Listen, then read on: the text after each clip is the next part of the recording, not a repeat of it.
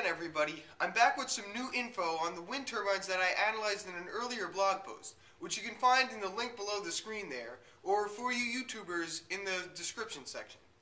To give a two second summary though, these wind turbines are on top of the building I'm in right now, and from my analysis last time, it was clear that they weren't worth the investment if you see their purpose as solely generating renewable energy. Now, I should clarify that last time my analysis was made using facts and figures given from the company that manufactures the turbines. But now, I have some real-time data from the turbines that are actually up there, thanks to a live feed that my university put up online, which you can also visit at another link below the screen there. Now, according to this feed, the 10 turbine system that's up there has produced 357.22 kilowatt hours of electricity since it was first installed. Taking into account the fact that they were inaugurated on May 29th of this year, and I'm recording this video right now on December 6th, we can calculate the power output or energy generated per unit time that the turbines are averaging.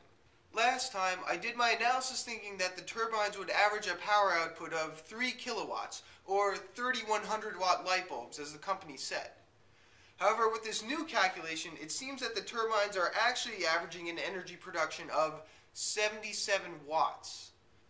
Now, this isn't even enough to power a single 100 watt light bulb, which is absolutely absurd considering the estimated $150,000 cost of the system according to the company. In fact, if you were to take this cost and the average cost of electricity in Connecticut at this rate, the turbines will pay for themselves in 810,425 days or 2.2 millennia. While I'm absolutely shocked by this realization and a bit confused as to why the turbines are put up there, I guess I've been able to make some sense of the facts. For example, Connecticut is known for having a scarcity of renewable energy sources, with the only large-scale wind prospects far offshore, so perhaps any local project was doomed to ineffectiveness from the start. Also, I imagine that this building that I'm in was not selected for turbines thanks to its abundance of wind energy, since there are much, much taller buildings on campus, and wind speed increases exponentially as you leave the ground. Now, I'm just taking a guess here, but this is our university's main engineering building, and seeing as the turbine's installment was probably mostly for educational reasons, I imagine it was selected accordingly. Maybe one other argument that I could put forward is that it gets a bit windier here in the winter when the trees shed their leaves and there's less wind resistance. And the past six months have been an autumn and a summer. But realistically speaking, I can't see this helping too much. I mean, maybe it'll cut down my payoff time estimate by a millennium, but it's not going to do anything significant. Well, at least these turbines have had an educational value and have taught me something. And for that, I'm thankful to the university and the donor for the learning experience and especially for publishing the live feed.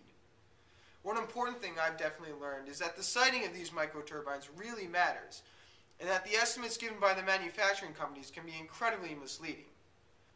But as I showed in an earlier post, even when these turbines are functioning at the manufacturing company's efficiency, they weren't worth it. So I shouldn't really feel an ease of carbon footprint conscience when I see these turbines on top of buildings. The things that actually make dents in carbon footprints are large-scale farms that can pay for themselves in 10 to 15 years, not small local projects that take 2.2 millennia to do so. So if I want to ease my carbon footprint conscience, I'm investing in some megawatt farm far up in the mountains or offshore. Now, there are still many people who haven't gotten the full educational value out of these turbines that you and me have. And I can't tell you how many people I found on this campus who still feel ease of conscience when they look up at these things.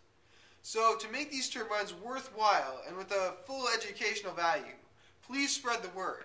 And feel free to share this video. Thanks for watching, and I'll see you around the blogosphere.